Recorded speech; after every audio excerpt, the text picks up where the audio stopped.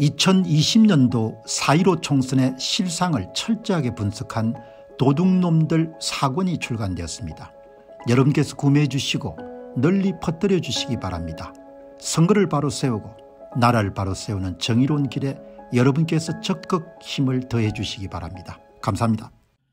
안녕하십니까 공병호입니다.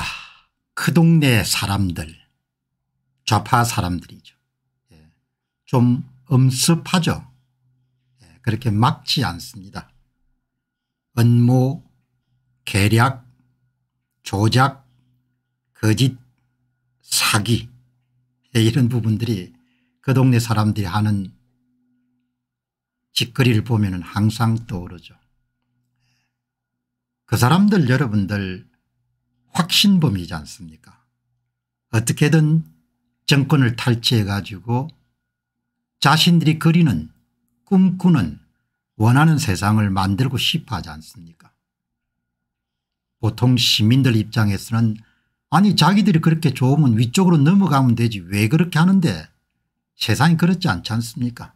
예, 여기는 먹을거리가 많으니까 그 먹을거리를 여러분들 그냥 단 한 방에 먹을 수 있는 것이 예, 선거를 그냥 훔쳐가지고 권력을 장악하게 되면 다 조아리고 앞에서 굽신거리지 않습니까 그래서 그 사람들이 선거를 그냥 조작을 하는 겁니다.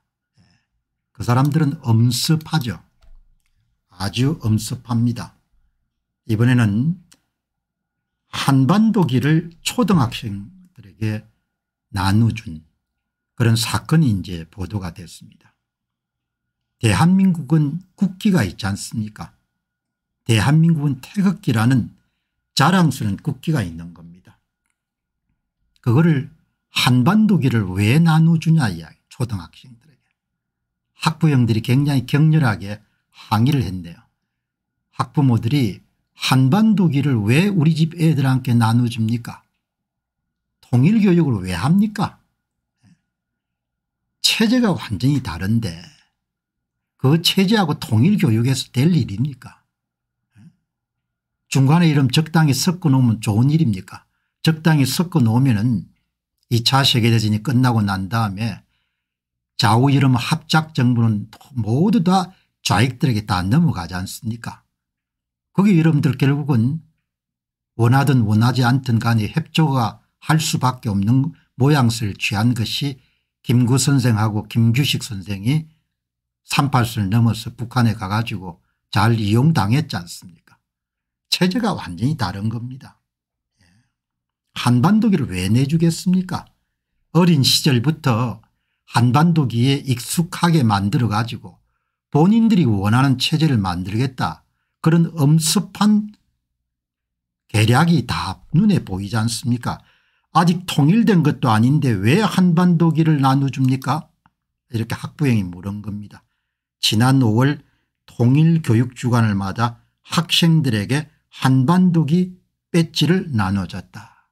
이런 정신나간 짓을 서울 시내에서 이루어진 겁니다.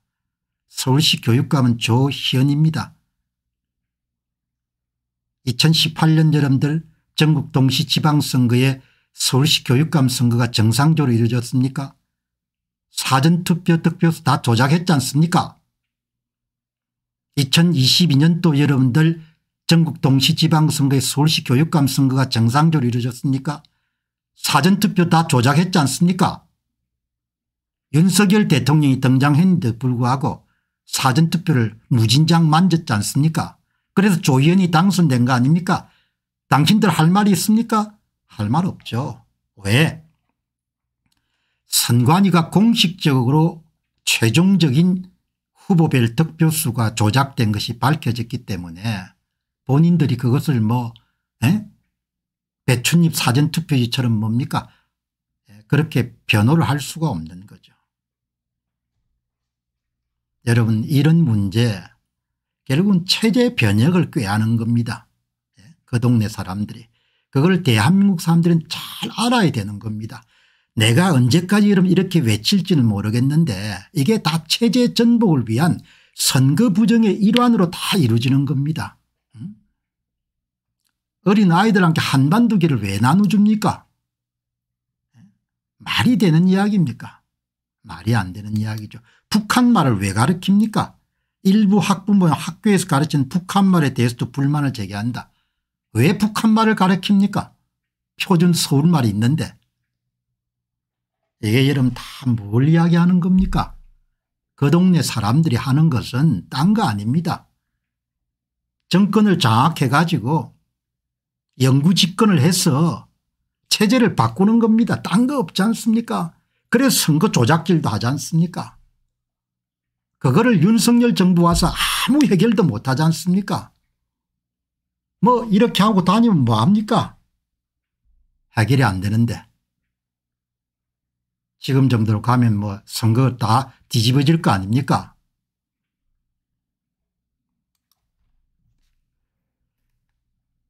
반복하는 듯 해서 조금 그렇긴 하지만 참 열불이 나는 거죠.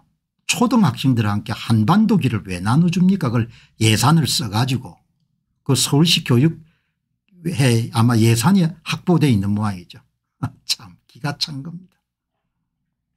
그 전체주의가 그렇게 좋은지 지금 대한민국 상황이라는 것은 1945년도 해방이 됐을 때에 좌우 대결하고 지금과 다르진 게 하나도 없습니다. 예, 지금은 오히려 그 동네 사람들이 선거를 장악하고 있기 때문에 여차하면 뭡니까 권력을 탈취해 가지고 장기 집권으로 나갈 수 있는 그 위기 일발인 거죠. 예. 여러분 제가 한번 말씀드리겠습니다. 예. 이게 여러분 뭡니까 이게 2022년도 윤석열 정부가 등장하고 나서 한 달이 안 돼서 실시됐던 전국 동시지방선거의 서울시 교육감 선거 결과입니다. 이 여러분들 자료는 선관위가 발표한 공식적인 후보가 받은 득표수 조사를 해보니까 사전투표에 정확하게 뭡니까 득표수를 조작한 흔적이 만들어졌지 않습니까 서울시 종로구에서 조전혁이 받은 사전투표 득표수 4868장 가운데 60% 사전투표 득표수 100장당 60장을 여러분들 2929표를 좀 빼앗아 가지고 누구한테 대해줬습니까? 조희연이한테 더해준 겁니까? 조희연 플러스 2921표 조전혁 마이너스 2921표 100장당 60장을 훔친 겁니다. 이보다 더 중차대한 일이 대한민국에 어디 있습니까? 여당 사람들 다 침묵하지 않습니까 대통령실 다 침묵하지 않습니까 대통령도 입 딱 다물지 않습니까 이게 이름 2022년도 이름 그렇게 부정선거 없다고 여러분들 나대는 누굽니까 그저 당대표했던 젊은 친구 그 젊은 친구 여러분들 노원구 지역구지 않습니까 이 누굽니까 예? 이름 기억이 가물가물하네요. 예, 거기는 조작값 50%입니다. 조전혁 후보가 붙은 사전투표 득표수 15,132표 가운데 50%인 100장당 50장인 7566표를 마이너스 처리하고 조연한께 플러스 7566표를 대해줬지 않습니까 이거는 여러분 다르게 이야기하면 뭘 이야기하는 거 아니까 대한민국의 선거 사무가 민주노총을 비롯한 예, 특정 노동단체에 의해서 철두철미하게 장악되어 있다는 걸 뜻하는 겁니다. 왜 대통령이 바뀌었음에도 불구하고 무지막지한 조작을 한 겁니다. 조작값 뭐55% 50, 60% 50%인 겁니다. 그 이 짓을 여러분 또 언제 했습니까 2018년에 또 그대로 하지 않습니까 조현이 여러분들 2018년 어떻게 당선됐습니까 예? 서울시 교육감 2018년 전국 동시 지방선거의 종로구 40%를 당시에 우파 교육감 후보인 박선영한테 빼앗은 겁니다. 마이너스 3295표 플러스 3295표를 처리를 한 겁니다. 이렇게 해도 여러분들 한국 사람들이 이렇게 입을 다무니까 앞으로 얼마나 자식들 데리고 고생을 할지 노원구 보시기 바랍니다. 35%입니다. 35%를 조작을 한 겁니다. 여러분 한반도이 초등학생 나눠주는 것이 분격하기에 앞서 가지고 물론 그것도 옳은 일은 아닙니다. 그러나 이 모든 문제의 중심에는 선거 부정이 있는 겁니다. 선거를 탈취해 가지고 체제를 바꾸는 겁니다. 예. 그러면 뭐 한반도기를 열면 아이들한테 100장 200장 나눠줘도 말 못할 겁니다. 그래서 그 체제가 여러분들 장기 집권으로 들어가게 되면 언론들은 이런 것도 보도를 안 할 겁니다. 왜? 불이익이 떨어지니까. 예. 두더지처럼 다 숨을 겁니다. 그때는 끝인 거죠. 그때는 선거를 바로 세울 수도 없고 나라를 정상적인 궤도로 갈 수 있도록 그렇게 할 수 있는 수단도 없던 지금이 마지막입니다. 지금이. 나라의 선거를 바로 잡아서 적대 세력들에 의해 가지고 불법적으로 국가 체제가 전복되는 것을 막을 수 있는 마지막 때인데 정신들이 없는 겁니다. 한 번 더 해먹으면 마지막엔 뭐든 골로 가든 관계가 없는 겁니다. 어마어마하게 비겁한 사회고 부정의한 사회가 되어버린 겁니다. 여러분 학부형들은 체제가 바뀌면 어떻게 되는지 아시지 않습니까 자 여러분 오늘 이 지난 상반기까지 대한민국 공직선거를 해보한 도둑놈들의 시리즈가 다섯 권 출간됐습니다. 이 다섯 권이 뭐 그동안 문재인 정부가 등장했던 2017년 대통령 선거부터 윤석열 정부의 두 번째 공직선거인 2023년도 4월 5일 보궐선거까지 대한민국 공직선거에서 어떤 득표수 조작이 있었는지를 다 밝힌 거지 않습니까? 이것을 기초로 해서 사전투표 제도에 대한 QR코드 사용 금지 투표 용지의 정품을 인정하는 투표지 관리관 도장의 사인 사용 최소한 이런 것을 바꾼 상태에서 2024년 총선이 일어나야 기존의 일곱 번째 선거하고 달리 정상적인 투표가 가능할 것이다. 그렇게 생각합니다. 많이 구매해 주시고 주변에 널리 확산될 수 있도록 여러분께서 힘을 더해 주시기 바랍니다. 감사합니다. 안녕하십니까 공평호입니다. 여러분 이제 윤석열 대통령이 등장하고 난 다음에 1년이 지났지만 전에 권력을 잡고 있던 사람들의 비리가 그렇게 많이 쏟아져 나와도 감옥에 집어넣었다든지 그런 것이 별로 들리지 않지 않습니까 조사를 받다가 스스로 목숨을 끊었다는 그런 이야기도 들리지 않습니다. 그래서 일반화를 하자게 되면 은 그래도 우파 사람들은 뭐 어느 정도 양식이 있는 것이죠. 권력을 잡더라도 타인들을 박해하거나 타인들을 아주 뭐 코나에 밀어넣거나 없는 죄를 만들거나 그러지는 않습니다. 그러나 좌파 사람들은 기본적으로 한 1년 정도 문정권 하에서 이루어진 걸 보게 되면 여러 명이 생명을 끊었지 않습니까 스스로 네. 가혹행위가 뭐 일상이 됐고 그 당시에는 그리고 그들은 양심을 전혀 끄리끼거나 그런 걸 느끼지 않는 거죠.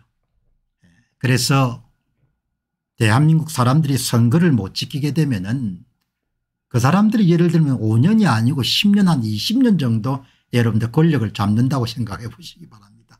대한민국에 뭐가 남아 있겠습니까 예.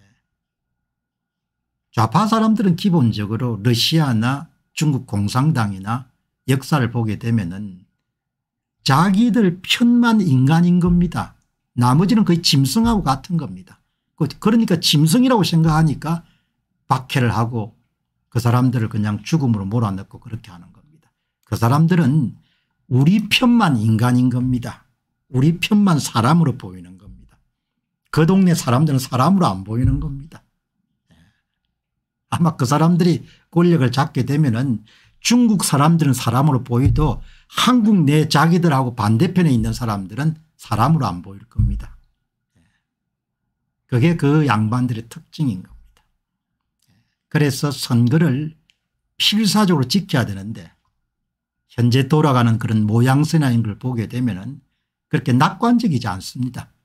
예, 우파 사람들은 그렇게 절박하지 않은 거예요. 예, 자신들이 뭘 지켜내야 될지가. 예. 이게 이제 아마 4대강 보를 일부는 이제 해체를 했고 일부를 해체하느냐 마느냐를 두고 존치 방향으로 재검토를 하겠다 이렇게 이제 환경차관이 첫 언급을 했는데 뭐 존치 방향으로 재검토는 뭐 재검토입니까 당연히 존치해야 되는 거죠. 예. 이거를 여러분들 해체하기 위해 가지고 문정권 하에서 얼마나 무리수를 뒀습니까 오늘 난 보도를 보니까 지금 이 김은경 예, 장관을 지냈던 사람이 지금 감사원에서 아마 검찰에 고발된 아마 상태일 겁니다. 김은경 당시 환경부 장관 4대강 사업에 여러분들 찬성했던 사람들을 위원회에서 모두 빼라 이렇게 시민사회단체가 요청을 했구먼요. 예. 그러니까 분명히 아셔야 될 거는 그 동네 사람들은 기본적으로 뭐 양립이라든지 이런 것은 인정할 수 없는 겁니다. 제가 며칠 전에 방송에서 한번 너짓이 말씀드렸는데 제가 문정권 하에서 어느 기간에 비상근보 자리를 하나 맡고 있었습니다. 그 자리를 해서 밀어내기 위해 가지고 예, 뭐 여러 번뭐 예, 찾아왔으냐 그 양반을 그만두게 하라 그렇게 예, 그 뭐 자리가 아무 자리도 아닙니다 그렇게. 큰 자리도 아니고 민간 자리니까. 그런데 뭐 거기에 이제 계시는 톱 되시는 분이 연세도 좀 있으시고 현장에서 참 여러 가지 참 산전수전을 다 겪으신 분이 돼 가지고 그렇게 요청하는 사람들한테 여러 경로로 뭐 예, 그렇게 접촉을 해 가지고 그만두게 하라. 그러니까 참 내가 그걸 보고 무슨 생각했는가 하니까 야, 저 양반들은 정말 양립이 안 되겠구나 예. 그러니까 뭐 인민위원회 만들어 가지고 예, 반대편 숙정하는 것도 마찬가지로 그렇게 세상을 끌어가고 있구나 그런 생각이 든 겁니다. 예. 권력을 잡으면 이익이 많지 않습니까 그러니까 노다지 부정선거를 하는 겁니다. 예, 이 선거를 제가 지키기 위해 가지고 아무도 그런 이야기를 안 하니까 이렇게 오랜 기간 선거 부정의 실상이라든지 조작의 실상을 공개하고 정부 당국자 여러분들 그런 전향적인 자세를 촉구하는 것은 이렇게 해서 권력이 넘어가게 되면 더 이상 한국이 앞으로 재기할 수 있는 기회가 없다고 생각하기 때문에 이렇게 계속해서 목소리를 내는 겁니다.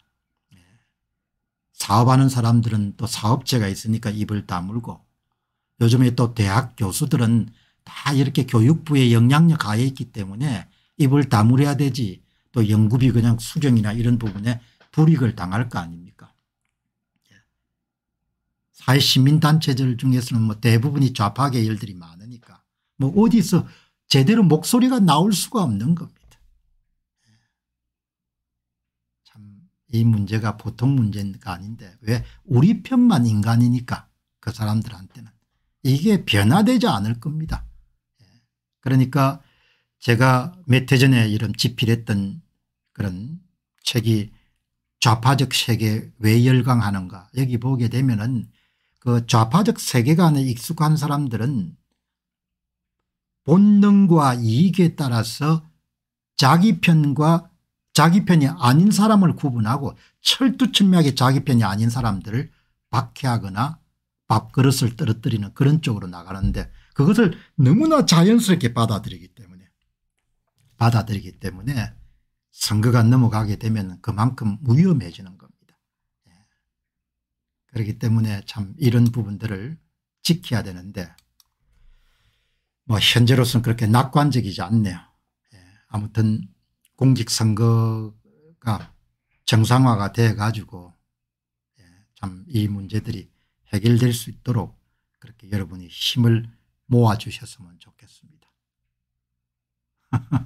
함께 살기 참 어려운 사람이죠. 예.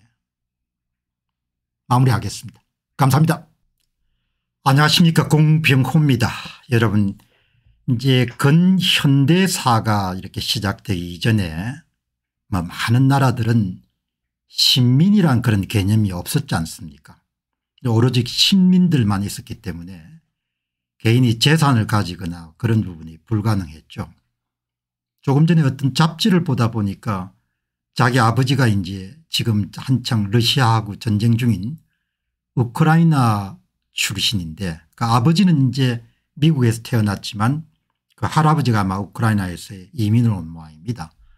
근데 우크라이나 같은 경우만 하더라도 근현대 이전에는 토지도 가질 수가 없고 성도 가질 수가 없었다고 그러네요. 그러니까 우리 중심으로 보면은 우리가 참 가혹한 시대를 살았다 이렇게 볼 수 있겠지만 특히 이제 그 신민사회를 경험하지 못한 동구 유럽 러시아를 포함해서 이런 부분들은 농노제에서 바로 이제 전체주의 체제로 넘어갔기 때문에 아픈 역사들이 굉장히 많은 거죠. 제가 이제 한국사 전편을 이렇게 가만히 보면은 민간과 그리고 관, 예, 민관, 정치 권력을 소유한 사람들과 그리고 그 다음에 지배를 받는 사람들 사이에서 제 판단은 항상 민간을 수탈하는 약탈하는 그런 문화가 굉장히 저는 강하다는 생각을 하고 있습니다.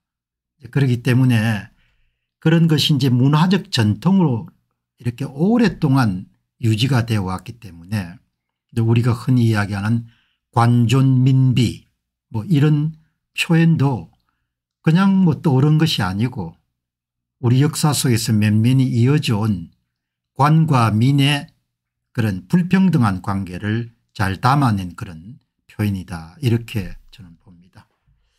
최근에 이제 경제 상황도 이제 어려워지고 그 다음에 재정에 대한 그런 수요가 폭증하면서 이 조세 부담 준조세 부담이 굉장히 높아지는 것 그리고 제 자신이 이제 직업인으로서 활동하면서 세금에 그렇게 세금을 납부하는데 허덕인 그런 개인적인 기억들 그리고 지인들과 나누는 대화에서 이제 세금 부담이 과한 거. 근데 특히 요즘에는 제 자신이 이제 나이를 먹어가면서 이렇게 노년에 관한 그런 프로그램을 가끔 내 보내게 되면은 그 하단에 실제로 나이가 들어서 노년을 보내는 대한민국의 보통 시민들이 세금 부담이 과중한 부분을 호소하는 그런 부분들을 글을 많이 남기거든요. 이제 그래서 저의 어떤 그런 관점에서 보게 되면은 관이 민을 억압하고 뭐 좀 심하게 이야기하면은 수탈하는 그런 문화는 크게 변한 게 없는 것 같다 그런 생각을 하게 됩니다. 여러분들도 이제 아시다시피 대개 이제 선진국들 같은 경우는 자본시장이 잘 돌아가면서 그 기업들이 과실을 만들게 되면은 배당주를 대개 구입해 가지고 노년에 배당 소득으로 살아가는 사람들이 꽤 많지 않습니까 예. 이제 성장하면서 노년에 성장 과실을 자본시장을 통해 가지고 국민 개개인이 누리는 거죠. 이제 오늘 이제 제가 관심 있게 본 그런 기사 가운데 하나는 한국에서는 배당주를 구입하는데 굉장히 조심해야 된다. 뭐 이런 내용들이 나와요. 저도 이렇게 좀 잘 몰랐던 내용입니다. 예, 여기서 이제 관 정치 권력을 민간이 어떻게 대하는가 예, 노년에는 당연히 배당주를 구입해 가지고 사는 분들이 비중이 높아야 될 건데 전혀 그렇지 않다는 겁니다. 이 노년 문제에 대해서 시리즈를 잘 내고 있는 왕개미 연구소에서 주식 배당금으로 편안한 일본 노후 미국도 마찬가지입니다. 한국이 그게 안 되는 이유 예. 연 2천만 원을 넘으면 은 금융종합과세의 이름 되어 세금을 왕창 맞고 또 소득이 높아졌기 때문에 건강보험료 피부양자 자격이 탈락되고 예, 이런 이제 실린 겁니다. 그 아마 엊그제에 배당주를 독려하는 그런 기사를 왕개미 연구소에서 냈는데 이제 거기에 아마 많은 댓글들이 실렸던 모양입니다. 배당 받으면 폐가 망신합니다. 1년에 2천만 원 넘게 배당 받으면 세금이 하고 건강보험료 때문에 남는 게 없습니다. 배당 받기 전에 현금하는 게 이득입니다. 세금으로 다 뜯어가는데 배당 욕심내면 큰일 납니다. 다들 투기라고 욕하는 아파트 사놓는 게 훨씬 안전하고 수익도 좋은 신선도론입니다. 이런 내용을 보면서 제가 머릿속에 떠오른 게 그러면은 뭐 예를 들면 임대차 보호법 같은 걸 만들어 가지고 다가구를 소유한 사람들에게는 굉장히 죄인 취급을 했는데 그러면은 노년에 소형 아파트나 상가를 구입해 가지고 월세를 받는 것도 어렵게 만들어 놓고 거기다가 이제 배당주를 가지고 노후에 여러분들 부족한 자금을 보충하는 것도 어렵게 하고 그러면 어떻게 사냐 이야기야. 예. 국민연금은 직권의 받기밖에 안 되는데 그럼 노년에 또 일해야 되냐 이야기죠. 예. 그냥 넘어갈 수 있는 일이지만 저는 전체 조감에서 한국은 아직도 관이 민간을 약탈하거나 수탈하는 그런 문화로부터 자유로운 게 없다는 겁니다. 예. 지금도 마찬가지인 거죠. 틈만 되면 뭡니까 세금 거두 들여갈 생각밖에 안 한다는 거죠. 이걸 보면 제가 참 마음이 그냥 좀 아픈 겁니다. 야, 어떻게 나라가 이렇게 그냥 바뀌는 게 없냐. 예. 노년에 이렇게 세금을 뜯어가면은 여기 보니까 아마 배당 생활족 월 200만 원 받으려면은 필요한 투자금은 이런 기사를 아마 한 며칠 전에 나왔습니다. 예. 개인 투자자들의 반응이 배당 투자에 대해서는 대부분 부정적이고 심지어 사자마자 물린다면서 말리기까지 하고 이렇게 하는 거죠. 한국 정시에 배당률이 연 9에서 10% 되는 그런 기업들이 꽤 많은 모양입니다. 그러니까 참 여러분들이 보니까 예? 이게 이제 아마 건강보험료가 크게 오르는 모양이죠. 다른 의견을 가지신 분도 계시겠지만 참 여러분 평생 빼 빠지기 이래 가지고 돈을 벌어 가지고 소득세를 다 냈을 거 아닙니까 예, 소득세를 다 내고 그래 벌어둔 돈을 가지고 다시 주식을 사 가지고 거기서 배당주에서 배당이 나오는데 거기 또 중과세를 하는 거지 않습니까? 제 판단은 이중과세 같거든요. 세금 전문가들은 어떻게 보시는지 모르겠지만. 그래서 참 정치하는 사람들이 좀 이 국민들 편안하게 어떻게 하면 좀 해줄 수 있겠는가 그렇게 생각해야지 어떻게 하면 세금을 좀 더 떠들 것인가? 준조세를 좀 더 떠들 것인가 그렇게 생각하면 안 되는 거죠. 예. 그러니 여러분들 이렇게 세금을 많이 뜯어야 되니까 국회의원 1인당 뭐 5명 6명 정도의 그렇게 보좌관을 거느리고 있어야 되니까 참 딱한 일인 거죠. 예. 민간을 거의 수탈 대상으로 그냥 삼는 겁니다. 저는 늘 그렇게 생각해요. 예. 그냥 세금을 어떻게 하면 좀 더 뜯어갈 것인가 그런 대상인 겁니다. 그러니까 이리 오느라 이리 오느라 해가지고 뭡니까 곤장치가 재산 빼앗는 거하고 뭐 별로 다른 게 없는 거죠. 지금은 법의 이름으로 제도의 이름으로 정책의 이름으로 그렇게 빼앗습니까. 예.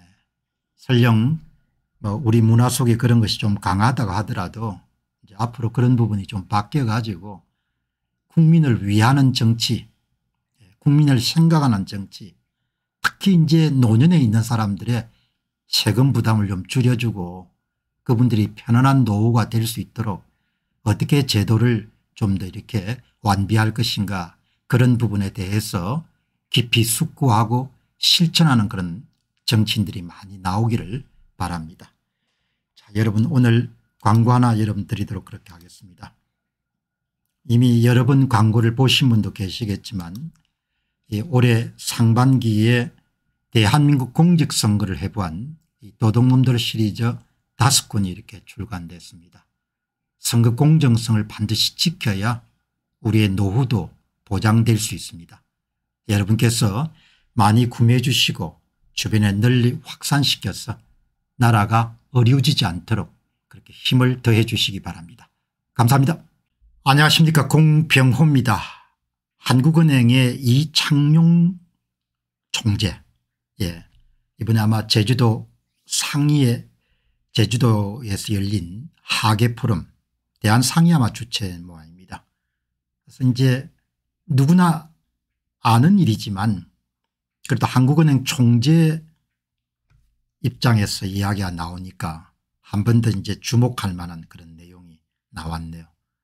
이 창룡하는 총재는 이제 상당히 이제 국제적인 시각을 IMF에서 근무했고 ADB에도 근무했고 또 명문대학에서 경제학 박사도 했고 서울대 교수도 계시고 재직하셨고 예, 그리고 비교적 이제 관 출신이나 하는 출신이 아니기 때문에 소신 발언을 좀 자주 하는 편이고 예, 전체를 좀 많이 이해하는 그런 측이죠.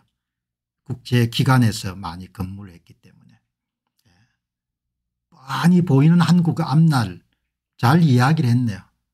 일본과 한국의 차이가 뭐냐 뻔히 보이는 앞날 누구든지 예상할 수 있습니다. 그런데 안타깝게도 이렇게 뻔히 보이는 앞날 뭘 하면은 해결될 수 있는지도 해답이 다 나와 있는 문제를 예, 그 정치적 의사결정을 통해 가지고 그것을 집행하지 못하기 때문에 나라가 5년 터울로 계속해서 성장률이 1%씩 계속 이렇게 예, 축소돼 가는 그런 상황인 겁니다. 뻔히 보이는 앞날이지 않습니까 뻔히 보이는 앞날 예. 조금 양식 있는 사람이 누구나 알 수 있는 것을 예, 여기 이제 오늘 보니까 조선일보에 예, 과거에 이제 주필을 하셨던 강천석 고문이 쇠퇴와 번영의 갈림길에 선 한국 뭐 이런 이야기를 했는데 이미 쇠락의 길에 들어선 거죠. 그런데 미래일이라는 것은 항상 가능성의 영역이니까 또 잘하면은 또 그런 방향을 틀 수가 있겠지만 현재대로라면은 쇠퇴와 번영의 갈림길은 이미 넘어선 거죠. 예. 그게 성장률이 1%씩 내려가는 그게 굉장히 중요한 지표입니다. 그리고 나라가 늙어가는 것이 굉장히 중요한 지표고. 그런데 예. 이제 오늘 학예 세미나에 이제 참석한 이, 이 창룡 하는 뭐 말씀 잘했네요. 일본은 부자 노인이고 한국은 돈 없는 노인이 될 가능성이 높다. 그렇지 않습니까 예. 경상수지 흑자를 예, 남긴 시간이 일본이 50년 60년대 70년대 80년대 한 40년 정도 막대한 경상수지를 남긴 겁니다. 일본이. 한국이 여름 경상수지 흑자가 본격화된 것이 외환 위기가 끝난 이후죠. 그한 20년 정도 되는 그러니까 대외 자산 축적 그러니까 배당금이라든지 이자를 만들어내는 대외 자산 축적이라는 것이 양이나 이런 면에서 일본과 어마어마하게 차이가 나죠. 한국이 일본의 소득은 따라잡았지만 자산 측면에서는 아닙니다. 일본은 잘 사는 노인 배당금을 계속 받는 노인 한국은 돈 없는 노인이 될 가능성이 있습니다. 아주 뭐 예. 그 현상의 본질을 짧고 명료하게 정리를 했네요. 예. 고령화 사회란 점에서 한국이 일본의 경제 상황을 그대로 따라갈 가능성이 큽니다. 솔직하게 이야기하네요. 인구 구성비 변화만큼 한국과의 앞날을 결정하는 데 중요한 변수도 없으니까. 한국의 약점은 출산율이 더 낮아 고령화 속도가 빠르고 일본은 1970년대 90년대 큰 폭의 경산기 흑자를 바탕으로 해외 투자를 많이 해놓았기 때문에 배당금을 많이 받는 재산이 풍부한 잘 사는 노인이 많습니다. 이 차이지 않습니까 예.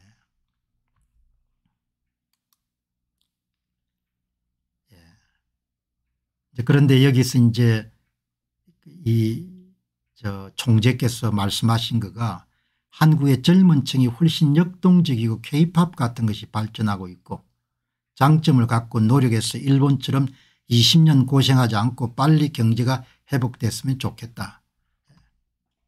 일본에 비해서 한국 사람들이 좀 유연성이 강하고 좀 진취적이죠. 얼마 전에 영화계에서 오랫동안 종사해 본 분이 재미나는 이야기를 하더군요. 일본 영화는 거기서 거기라는 거죠. 새로운 게 나올 수가 없다는 겁니다. 이제 그 이야기를 제가 전해 듣고 일본인의 속성에 대한 부분을 생각해 보면 주어진 틀 속에서 뭔가를 만드는 건 잘하지만 틀을 깨고 새로운 것을 만드는 것은 상당히 어렵죠. 예, 그런 한국인들의 장점이 있고 그런 장점이 한껏 여러분들 바, 발현됐던 데가 1960년하고 1970년 된 거죠. 예. 어떻든 간에 여러분들 일어서는 길은 정치적 합의를 통해 청소를 계속하는 겁니다. 청소 작업을 우리가 흔히 구조조정이다 이렇게 이야기하지 않습니까 예. 놀고 먹는 사람 줄이고 예. 한 사람이 할 일을 20명이 하는 공공영역도 줄이고 자르고 피 좀 흘리고 그렇게 할 수 있겠냐 이야기죠. 그렇게 할 수 있으면 이기는 거죠. 예. 경제학은 여러분들 아주 간단하지 않습니까 자원 배분의 효율성을 극대화하면 그렇게 잘 살게 되는 거지 않습니까 돈이 들어가야 될 때 들어가야 되는데 썩은 부분에 계속 돈이 들어가게 되면 내려앉는 거죠. 뭐 간단하지 않습니까 인체하고 똑같은 겁니다.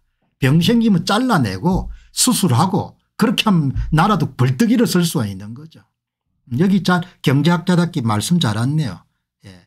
해고된 기간 정부의 사회 안전망으로 생활이 보장된 상태에서 새 산업으로 인력과 자본이 계속해서 이동해야 되는데 한국이 가진 구조가 유리하지 않은 것 같습니다.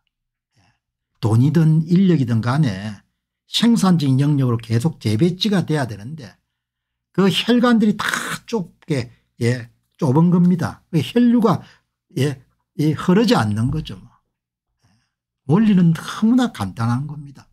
불필요한 부분 좀 잘라내고 썩은 부분 도려내고 그렇게 할 수 있겠냐야 그렇게 못하면 은 예, 고령화 사회가 되면서 계속 내려앉을 수밖에 없는 거죠. 음. 그참 너무나 간단한 이야기를 이창용 하는 총재께서 아주 잘 표현했는데 예. 아무튼 뭐 중국 특수해치의 구조계획을 안고 10년 허송 세월을 보냈다. 2010년이 아주 좋았던 시절이었지 않습니까 이제 그때 그래도 외환위기 때 구조조정을 뭐 어중간한 상태지만 그래도 했기 때문에 2000년대에 한 10년 정도 굉장히 잘 나갔던 겁니다. 그 이후에 이제 구조개혁다운 구조개혁에 대한민국은 거의 없었죠. 예, 그러니까 지금 저 어려운 거죠. 그 이야기를 장용 하는 총재께서 하신 겁니다. 나라가 계속해서 역동성을 유지해야 양질의 일자리도 만들어지고 해외여행도 많이 다닐 수 있고 지갑도 두둑해지고 이렇게 할 건데 참 뻔한 거를 못하는 겁니다. 그리고 한쪽에서는 뭐 계속해서 나라를 망가뜨리기 위해서 혈안이 된 사람들이 있고 그 사람들이 이제 선거까지 장악을 해가지고 전혀 그동안 고민거리가 아니었던 예, 선거가 무너진 상태니까 뭐 이거는 일본과 비교할 수 없을 정도로 한국이 비용을 치르게 될 일이다. 아무도 이야기 안 하지 않습니까 그거는 성역이니까. 이거는 뭐 경제적으로 대중영합주의 같은 그런 포퓰리즘과 비교할 수 없는 정도인 거죠. 예. 정치가 모든 영역을 다 장악하도록 그렇게 선거를 장악한 사람들이 정치가 모든 영역을 다 장악하는 그런 종류의 신념을 가진 사람들이기 때문에 더 여러분들 참 위험한 거죠. 아무튼 답은 다 나와 있는데 실천은 뭐 못하겠다면 뭐 어떻게 합니까? 그냥 고생을 할 수밖에 없는 자, 여러분 오늘 마무리하기 전에 이제 대한민국 공직선거를 해보한 도둑놈들 시리즈 1권에서 5권 정도가 상반기에 모두 다 출간이 됐습니다. 여러분께서 참 이 선거 공정성을 지키는 것이 나라를 지키는 일이다 이렇게 생각하시고 많이 구매해 주시고 주변에 보지 못하신 분이 계시면 선물도 해 주시고 계셔서 예, 선거를 지키는 일에 힘을 더해 주시기 바랍니다. 마무리하겠습니다. 감사합니다. 안녕하십니까 공평호입니다. 이재명 더불어민주당 당대표 이재명 씨. 예, 참 요즘에 뭐 하도 이제 심장이 강철판으로 깔았기 때문에 웬만한 것은 뭐 크게 문제가 안 될 겁니다. 그래도 이제 고 김문기 씨를 몰랐다 이렇게 해가지고 현재 다른 그런 사건과 함께 공직선거법 관련한 허위사실 공표죄 때문에 법정에 이제 여러 번 올르게 되는데 이번에는 이제 돌아가신 고 김문기 씨 성남도시개발공사의 처장을 지냈던 분의 아드님 아마 대학을 다닐 정도의 나이일 겁니다. 이제 아들이 법정에 나와 가지고 이제 아버지가 이재명 당시 성남시장과 전화하던 것을 여러 차례 자기뿐만 아니고 가족들이 확인할 수 있었다. 이런 내용을 법정에서 정언을 했습니다. 예. 젊은 친구고 하니까 그리고 뭐 이제 아버지가 돌아가셨으니까 뭐 거짓말을 해야 될 이유가 전혀 없는 거죠. 예. 그 정언을 그 법정에서 이재명 씨가 그대로 듣고 있었던 것 같습니다. 예. 묵묵부답이었지만 아들의 정언에 대해서도 뭐 반론을 하거나 그렇게 할 수 있는 상황은 아니지 않습니까 아들이 들었던 거 가족이 들었던 거 이야기니까 그 당시 이제 여러분들 대선을 앞뒀기 때문에 뭐 이재명 후보로서는 완전히 고 김문기 씨하고 그냥 끈을 끊는 것이 이롭다 이렇게 생각했을 수 있겠지만 저는 그 당시에 그냥 야 뭐 저거 나중에 문제가 될 건데 3천만이 아는 사실을 뭐 그냥 예, 나는 김문기라는 사람 모른다 이렇게 할 필요가 없이 여러 직원들 가운데 한 명이지만 뭐 그렇게 가까웠던 사람은 아닌 것 같습니다. 이렇게 해서 그냥 좀 구렁이 땀 넘어가듯이 넘어갔게 되면은 뭐 이 정도까지 안 왔을 건데 그 아들의 정언은 이미 보도가 됐지만 한번 상세히 살펴볼 필요가 있겠네요. 예. 아버지가 이재명 전화를 늦은 밤이나 주말에도 받았습니다. 이재명 선거법 재판에 나와서 장남의 정은 예. 아버지를 몰랐다는 말은 자충수라 생각합니다. 저하고 똑같은 판단을 했네요. 예. 아버지가 이재명 대표의 전화를 수차례 받았습니다. 이재명 대표가 아버지를 모를 리 없다고 생각합니다. 예. 그러면 김문기 씨는 이재명 대표가 어, 저, 예. 이재명 대표가 김문기 씨 저, 처장의 관계를 부인한 이유에 대해서 고 김문기 씨의 장남은 대선에서 이기기 위한 목적이라고 생각합니다. 그렇죠?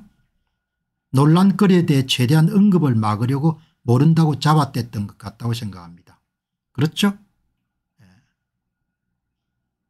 2020년 예. 이후에 이재명 씨와 낚시를 하고 수차례 보고를 하는 이야기 유동규 본부장과 있었던 일들을 아버지로부터 들었습니다. 호주 출장이란 쿡 집어 얘기하지 않았지만 성남시장과 골프를 쳤다는 식으로 말했습니다. 돌아가신 고 김문기 씨가 대기업 계열의 그런 건설회사 출신이지 않습니까 여러분께서도 다 외모를 보셨지만 외모가 그 사람의 내면 세계의 전부를 이야기하는 건 아니지만 그래도 많은 부분을 이야기하지 않습니까 제가 받아들인 그 사람이 상당히 과묵하고 그리고 아주 충식하게 일을 하는 사람이다. 아마 그 부분이 이재명 씨가 대장동 개발 사업을 진행하는데 김문기 씨를 잘 활용했을 것으로 봅니다. 사람은 과묵하고 일처리는 빈틈없고 뭘 지시를 내리게 되면 확실히 수행하고 그러니까 뭐 예, 척근으로 썼겠죠. 예, 본인은 척근이 아니라고 이야기하지만. 예. 그 이제 이렇게 되는데 뭐 이날 김 씨의 진술에 대해 특별한 언급 시선을 아래로 둔채 예, 그냥 침묵했다. 이재명 씨 이야기입니다. 예. 그 이제 이게 2023년 대선을 바로 앞둔 3월 9일이 대선이지 않습니까 이게 2월 예. 이게 예 대선 2월 21일 무렵이네요. 아버지 발인날에 산타복을 입고 춤춘 이재명 예. 고 김문기 아들 눈물 흘리다. 예. 뭐 김문기 씨를 몰랐을 리가 있습니까 이재명 당대표 입장에 생각해 보게 되면 은뭐 옳은 일은 아니지만 왜 그렇게 했을까? 그렇게 뭐 추측은 가능한 거죠. 논란거리를 완전히 끊는 것이 본인이 대선에 당선되는 뭐 대선에 당선되는 것이 거의 기정사실화돼 있었으니까 240만 표를 조작해도 못 이긴 거 아닙니까? 윤석열 당대표하고 이런들 후보하고 표격자가 전국에서 260만 표 이상 났지 않습니까 240만 표의 사전투표 득표수를 조작했는데도 불구하고 사전투표를 먼저 깠기 때문에 새벽까지 뭐죠 그렇게 더 조작을 하기가 힘들었던 거죠. 전산 조작도 무한대로 할 수 없고 그러니까. 여기 뭐 다 나와 있지 않습니까 여기 2권 3권에서 전국에서 몇 표를 훔쳤는지 240만 표를 어디 어디서 훔쳤는지를 다 파악을 했지 않습니까 이게 뭐 점쟁이가 이런 적은 책이 아니지 않습니까? 대야 전문가가 날밤을 세워가지고 대한민국의 선거관리위원회가 이재명과 여러분들 윤석열의 이름 대선에서 어떻게 이름 대선이 끝난지 공식적으로 발표한 선관위 발표 후보별 득표수를 분석해 여러분들 드러낸 거 아닙니까? 240만 표 이상 정도의 득표수 조작을 한 거 아닙니까? 본인들이 뭐 뻔히 다 이긴다고 생각했을 겁니다. 그게 뭐 시치미를 뚝 떼더라도 문제가 없을 거다 그렇게 생각 안 했겠습니까 예, 그러니까 뭐 다 그렇게 예, 거짓말을 한 거죠. 앞뒤를 좀 쟀으면은 그냥 애둘러 가지고 뭐 여러 부하 직원 가운데 한 사람이었으니까 잘 아는 사람이 아니다 뭐 이렇게 넘어갔으면은 이렇게 뭐 예, 고발을 당하거나 그렇게 해가지고 법정에 서지는 않았겠죠. 뭐 이재명 당대표도 참 강심장은 강심장입니다. 양심은 있는지 없는지 모르겠어요. 어쨌든 참 이 양반이 대통령 됐으면 나라가 참 어디로 갔을지. 지금 생각해 보면 뭐 윤석열 대통령에 대해서 뭐 어, 이걸 좀 더 잘해줬으면 좋겠다 그런 아쉬움은 있지만 그래도 천만 다행인 거 나라 참. 어쨌든 여러분 이 2권 3권이 지금 2022년 또 3구 대통령 선거를 다룬 내용입니다. 예. 자 여러분 마무리하도록 하겠습니다. 감사합니다. 안녕하십니까 공평호입니다. 이 철학자 가운데 니체라는 인물은 좀 독특한 인물이죠. 그래서 이제 우리 사회에서는 이제 허무주의 하면 이렇게 니체를 떠올리게 되는데 실상 그 니체라는 그런 철학자가 허무주의하고 정반대의 그런 생에 대한 그런 입장과 태도를 가졌다 그런 책이 나왔는데요. 예. 오늘 그 내용을 한번 원절을 읽어보면 더 좋을 건데 예, 원절을 읽어보기보단 원절을 읽기는 또 시간이 다음에 한번 그런 또 기회가 저는 있을 거라고 보는데 일단은 이제 원전을 우리가 읽기 전에 니체에 대한 전문가의 이야기 일본인이 쓴 책입니다. 오래전에 읽었는데 뭐 인상적이어 가지고 곁에 두고 읽는 니체 예. 사이토 다카시라는 인물인데 일본 메이지 대학교 문학 교수인데 특히 니체에 대한 그런 잘 정리된 책을 썼고 이 책도 일본에서 굉장히 많이 팔린 스테디셀러라고 합니다. 예. 스테디셀러가 될 수밖에 없겠네요. 자기개발서를 뭐 압도하고도 남음이 있을 정도로 그렇게 삶의 건강함을 유지하는 데 도움이 되는 그런 책이기. 예. 인생의 본질을 꿰뚫어 본 니체의 자문을 통해 세상의 난관을 헤쳐나가는 방법을 배운다. 예. 그래서 이제 작가가 뭐 한 그런 자기 개발서적인 서술 같은 부분은 좀 빼고 예. 작가가 아주 인상적으로 받아들였던 니체 전문가의 그런 니체의 발언을 중심으로 말씀을 좀 드리겠습니다. 이건 서문에 나오는 내용인데 예.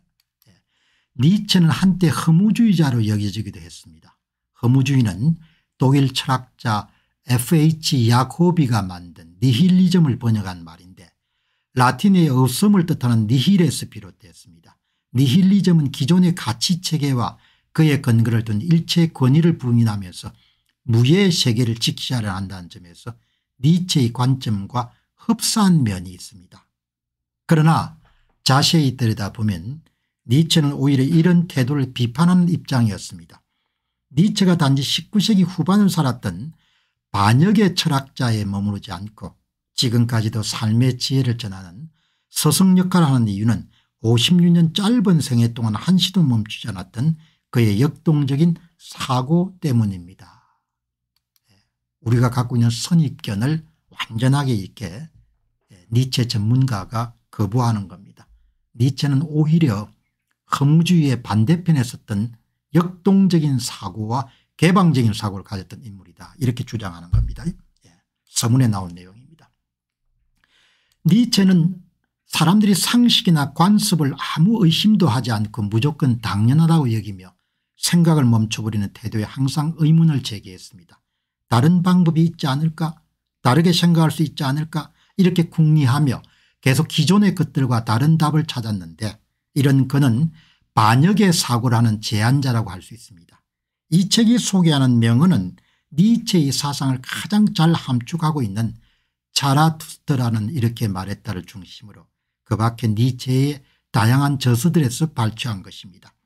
이 책을 통해 독자 여러분께서 생명은 타오르는 불꽃이라고 말했던 니체의 힘찬 메시지를 느껴준다면 더없이 고맙겠습니다. 원제를 여러분들 바로 읽기는 상당히 어렵기 때문에 예, 일단 그 전 단계로서 여러분과 함께 예, 이렇게 중간 단계로 한번 니체 전문가가 발췌한 내용을 먼저 살펴보도록 그렇게 하겠습니다. 누구나 자기 미래의 꿈에 계속 또 다른 꿈을 더해가는 적극적인 삶을 살아가야 됩니다. 현재의 작은 성취에 만족하거나 소소한 난간에 봉착할 때마다 다음에 이어질지 모를 장벽을 걱정하며 미래를 향한 발걸음을 멈춰서는 안 됩니다. 자라투스트라는 이렇게 말했다는 내용에 나오고 본문의 14쪽입니다. 니체는 당대의 철학자들을 포함한 지식인들로부터 격렬한 비판을 받아도 절대 자신의 의견을 굽히지 않고 자기 삶의 나침반이 가리키는 방향으로만 내달렸습니다. 니체 스스로 초인이라는 존재를 향해 날아가는 하나의 큰 벡터였습니다. 예. 이런 유의 여러분들 사상을 가졌다면 어느 시대는 지식인들의 반감이라든지 반발을 불러일으켰겠네요. 예. 그러나 뭐 그런데 크게 개의치 않고 자기 길을 꿋꿋이 갔던 인물이다. 예. 뭐 철학자도 여러분 사람이니까 자기 삶의 궤적과 자기 주장이 일치하지 않을 수 있습니다. 예. 니체는 무신론자였고 인생의 말년에 상당히 좀 정신적으로 힘들었습니다. 예. 그러나 이제 지금 글들은 그가 한참 왕성하게 활동할 당시에 자신의 철학을 이렇게 그 공표한 것이기 때문에 우리는 충분히 참조할 만한 거죠. 예. 니체는 당당함은 자기 자신을 진심으로 사랑하는 자세에서 비롯된다면서 이 사람을 보라는 저서에서 이렇게 썼습니다. 사람은 자기 자신부터 사랑하는 법을 배워야 됩니다. 니체는 자기 자신을 적극적으로 사랑하는 마음으로부터 세상의 난관을 돌파하는 힘이 나온다고 말했습니다. 니체는 이렇게 말했습니다. 자기 자신을 하찮은 사람으로 깎아내리지 마시기 바랍니다. 그런 태도는 자신의 행동과 사고를 꽁꽁 올가매게 됩니다. 무슨 일을 하더라도 자기 자신을 사랑하는 것부터 시작해야 됩니다. 지금까지 살면서 아직 아무것도 못했을지라도 자신을 항상 존귀한 인간으로 사랑하고 존경하라는 것입니다. 자기 자신을 사랑하면 결코 악행을 저지르지 않고 누구로부터 지탄받을 일도 저지르지 않습니다. 그런 태도가 미래를 꿈꾸는 데 있어 가장 강력한 힘으로 작용한다는 사실을 절대로 잊지 마시기 바랍니다. 참 멋진 말이네요. 스스로를 예, 그만하다는 것과 달리 스스로를 귀한 그런 존재로 생각하게 되면 악과 타협하거나 악과 손을 잡거나 타인에게 지탄을 받거나 공동체의 여러분들 안전을 위협하는 그런 악한 일에 손을 댈 수가 없겠죠. 자기 자신을 귀하게 여기는 것 당연히 타인도 귀하게 여겨야 되는 거죠. 타인을 자기의 목표 달성을 위한 수단이나 도구로 삼아서는 안 되는 거죠. 좌파들이 갖고 있는 전형적인 특성이 그거지 않습니까 공적 기관이나 제도 타인 모든 것을 뭐죠 자신의 유익함을 구하는 도구나 수단으로 여러분들 삼지 않습니까 그래서 성범죄가 그 동네에 많은 겁니다. 예. 여성을 그냥 자기의 수단이나 도구로 삼으니까. 예. 참 귀한 말이네요. 사람은 자기 자신부터 사랑하는 법을 배워야 됩니다. 자기 자신을 사랑하면 결코 악행을 저지를 수 없고 누구로부터 지탄받을 일을 할 수 없는 겁니다. 멋지지 않습니까 예. 그래서 오늘 여러분들에게 소개하기로 결정을 한 겁니다. 똑같은 것을 대해도 어떤 사람은 거기서 많은 것을 얻어내지만 어떤 사람은 한두 가지밖에 얻지 못합니다. 사람들은 이것을 능력의 차이라고 말하는데 사실 우리는 이를 능력의 차이라고 말하는데 사실 우리는 어떤 대상으로부터 무엇을 얻어내는 게 아니라 그것에 의해 촉발된 자기 안에 무엇인가를 뽑아내는 것입니다. 그러니 나를 풍요롭게 해줄 대상을 찾지 마시고 나 스스로가 풍요로운 사람이 되려고 항상 노력해야 됩니다. 이것이 바로 자기의 능력을 높이는 최선의 방법이자 풍요로운 인생을 만드는 지름길이자 한 문장을 따면 타인을 돕고 공동체를 돕는 길입니다. 여러분 그렇게 딱 해석이 가능하지 않겠습니까 예. 더뭐 뭘 더해야 될지 예. 불필요할 정도로 아주 절제된 언어를 썼네요. 예. 자기 안에 무엇인가를 자기 안에 내재한 무엇인가를 뽑아낸다는 거 아닙니까 예. 나 스스로가 풍요로운 사람이 돼서 세상의 빛과 소금이 될 수 있는 그런 사람이 됩시다 하는 것이 니체의 주장인 거죠. 이 독서 프로그램은 시사 프로그램에 배워 가지고 많은 분들에게 보지 않지만 그래도 이 프로그램을 여러분 하게 된다면 저도 재충전을 하게 되고 아마 오늘 방송을 보시는 분들도 재충전할 수 있는 그런 기회를 가지게 될 겁니다. 예. 아마 좀 더 많은 분들이 보시는 날들이 오지 않겠냐 그렇게 생각합니다. 평등이란 말을 즐겨 사용하는 사람은 다른 사람들을 자기 수준으로 끌어내리는 욕망을 갖고 있거나 자신과 다른 사람들을 더 높은 차원으로 끌어올리는 욕망을 갖고 있는 둘 중 하나입니다. 따라서 누군가 평등을 부르짖을 때는 그가 말하는 게 어느 쪽인지 분명히 알아야 합니다. 한국의 좌파들이 잘 새겨들어야 될 이야기네. 예, 끌어내리려거나 아니면 높이거나 두 구 중에 하나가 평등이란 말을 즐겨 사용하는 사람들이다. 사람들이 그렇게 다른지 자기가 태어난 나라에 대한 좀 헌신하는 마음이 있어야 될 거 아닙니까?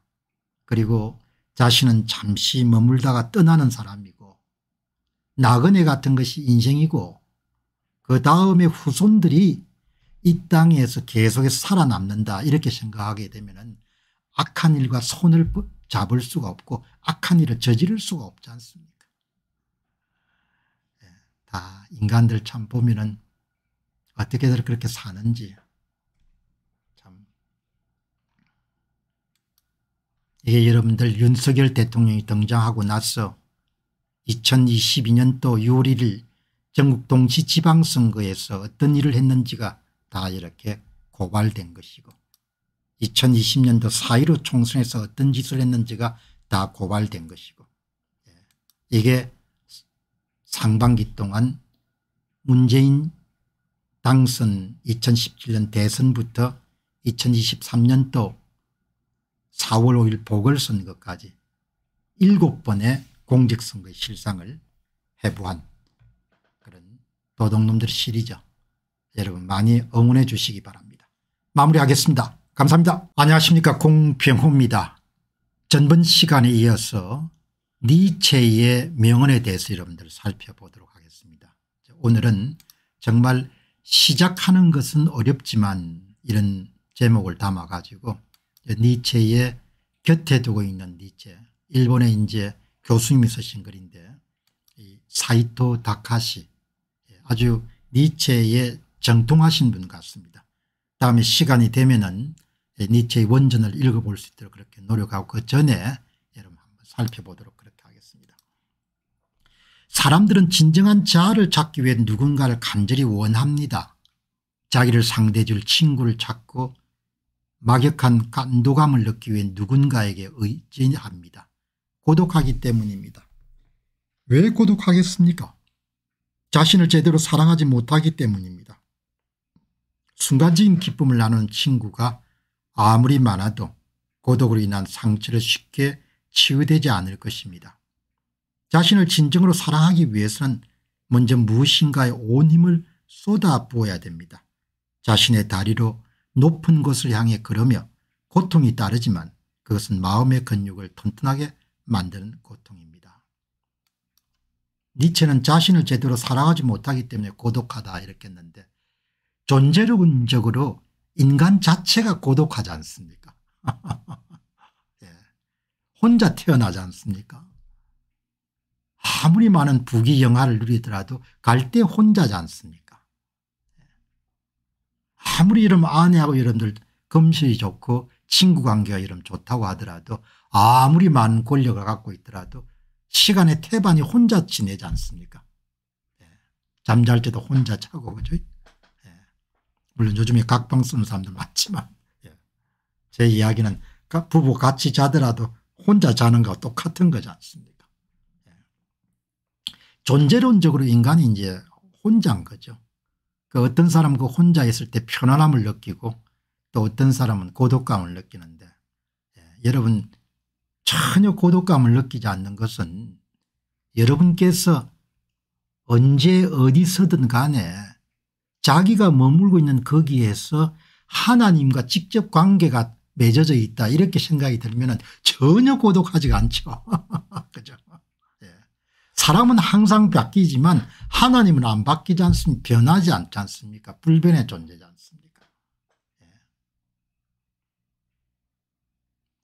살면서 위기가 오더라도 예.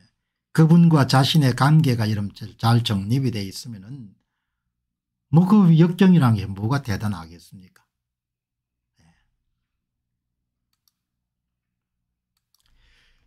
예. 같은 거네요 이게 예. 모든 일의 시작은 위험한 법이지만 무슨 일을 막론하고 시작하지 않으면 아무것도 시작이 되지 않습니다. 아주, 좋은 말씀이네요. 모든 일을 시작하는 것은 위험한 일이기도 하지만 예, 그리고 쉽게 하기가 어렵죠. 근데 뭐든 시작을 해봐야 되는 거죠. 지금은 여러분 좀 뜸하지만 제가 기, 이, 뭐 책도 많이 썼고 뭐 잡지사나 신문사 같은 데 기구가 오면은 마감 시간을 항상 맞춰서 글을 넘겨야 되지 않습니까 제가 이제 마감 시간을 어기는 것을 아주 싫어하거든요. 그거는 제 자신이 갖고 있는 대단히 중요한 원칙 가운데 항상 마감 시간 이전에 이제 글을 넘기는데 예. 그때 여러분들 원고를 쓰는 것이 어렵죠. 그런데 예. 일단 몇 문장을 써놓으면은 그러면은 그냥 쉽게 할 수가 있지 않습니까 무조건 시작해 놓는 겁니다. 예. 기분이 우울하면 은 러닝머신 위에 자기를 올려놓고 슬슬 걸어, 걸으면은 예, 벌써 기분이 풀리지 않습니까? 예, 시작해 놓으면은. 나 자신에게 던지는 왜라는 물음에 분명하게 답을 내놓을 수 있다면 그 다음은 아주 간단해집니다. 어떻게 해야 할지 금세 알 수 있기 때문에 타인을 흉내내면서 헛되이 세월을 보내지 않아도 됩니다. 이미 나의 길이 명료하게 보이기에 이제 남은 일은 그 길을 걸어가는 뿐입니다. 우상의 항원이라는 데서 나온 니체 이야기인데 며칠 전에 여러분 알아봤던 빅터 프랭클은 삶이 나에게 던지는 질문에 대해서 항상 구체적으로 답을 해야 되는 존재가 인간이다. 아주 여러분들 훌륭한 예, 아주 훌륭한 그런 예, 삶의 철학이죠. 환경과 상황에 따라서 항상 우리는 우리가 질문을 던지는 존재이기도 하지만 삶으로부터 질문을 받는 존재이다. 하늘에 닿을 듯이 키가 큰 나무들에게 거친 바람과 악천후가 없었다면 그런 성장이 과연 가능했겠습니까 인생에는 거친 폭우와 강렬한 햇살 태풍과 천둥 같은 온갖 악과 독이 존재합니다.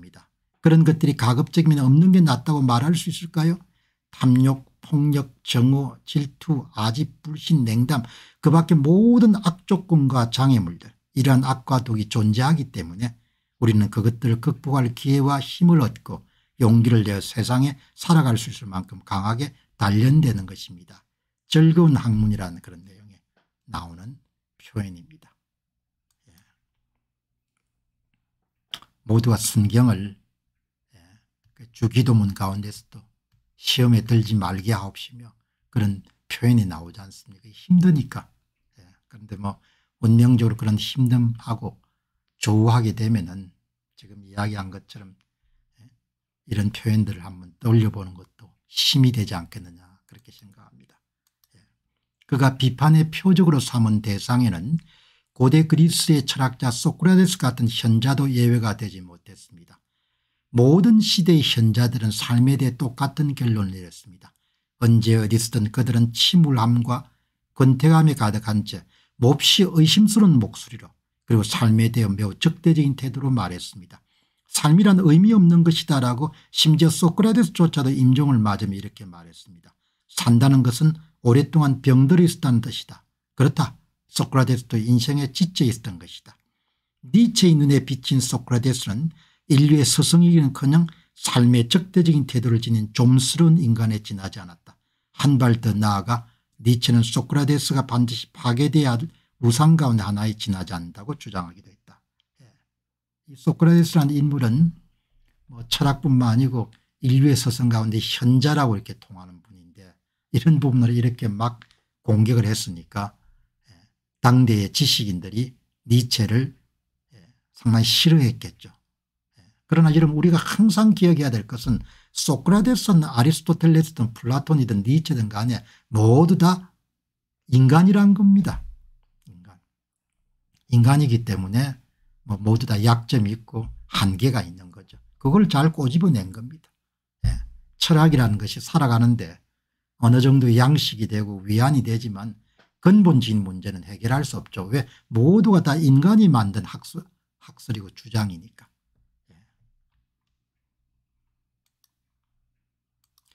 나는 차 자라투스트란 이렇게 말했다가 철학적 산, 산문시라기보다도 일종의 교육서가 아닐까 생각할 때가 있습니다.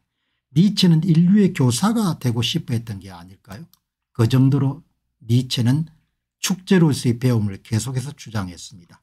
배우고 지식을 쌓고 그것을 교양이나 지혜로 확장해 나가는 사람은 삶이 지겨울 틈이 없습니다. 왜냐하면 모든 것이 진, 진보고 한점 흥미로워지기 때문입니다.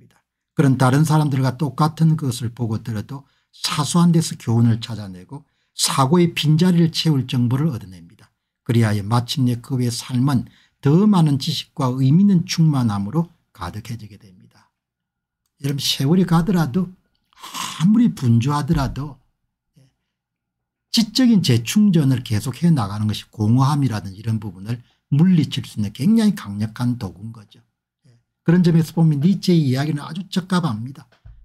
배우고 지식을 쌓고 그것을 교양이나 지혜로 계속해서 확장해 나가는 사람은 그 삶에 공허함이나 지겨움이나 이런 부분이 끼어들 틈이 없는 겁니다. 왜 모든 것이 다 배우는 과정이고 진보하는 과정이고 새로운 것을 충전하는 과정이기 때문에 특히 이런 메시지는 뭐 노년에 있는 분들께도 굉장히 중요한 그런 조언이다 이렇게 볼 수 있는 거죠.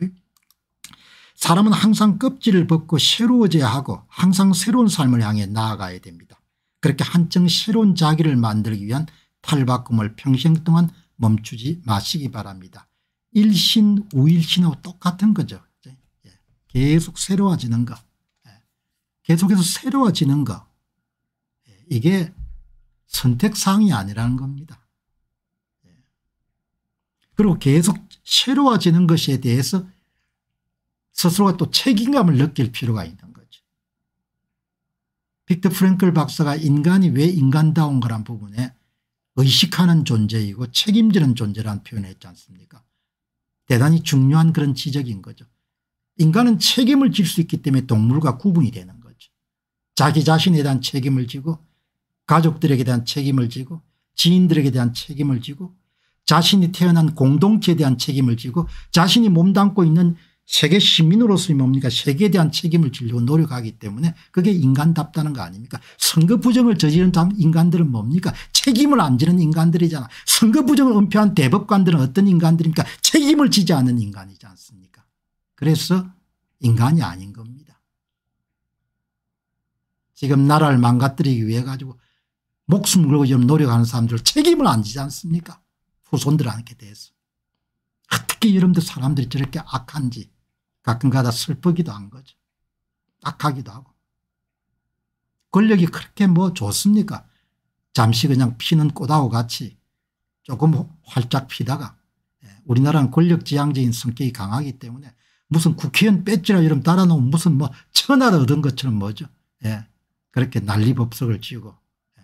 오랫동안 저 알아오던 사람 무슨 국회의원 달고 돼서 무슨 대단한 일이 된 것처럼 아주 웃어가지고 예. 마무리하도록 하겠습니다. 여러분 광고 하나 이름 드리는 것처럼 이 공직선거를 해부한 이 책들이 널리 배포될 수 있도록 힘을 더해 주시기 바랍니다. 감사합니다. 대한민국 공직선거의 문제점을 파헤친 첫 번째 책을 펴냈습니다. 제목은 도둑놈들 1권 선거 어떻게 훔쳤나 2017년 대통령 선거로부터 2022년 대선과 지방선거까지 전산 조작을 이용해서 후보별 득표수를 어떻게 조작했는가를 낱낱이 분석한 책입니다. 선거를 바로 세우고 나라를 바로 세우는 일에 여러분께서 힘을 더해 주시기 바랍니다.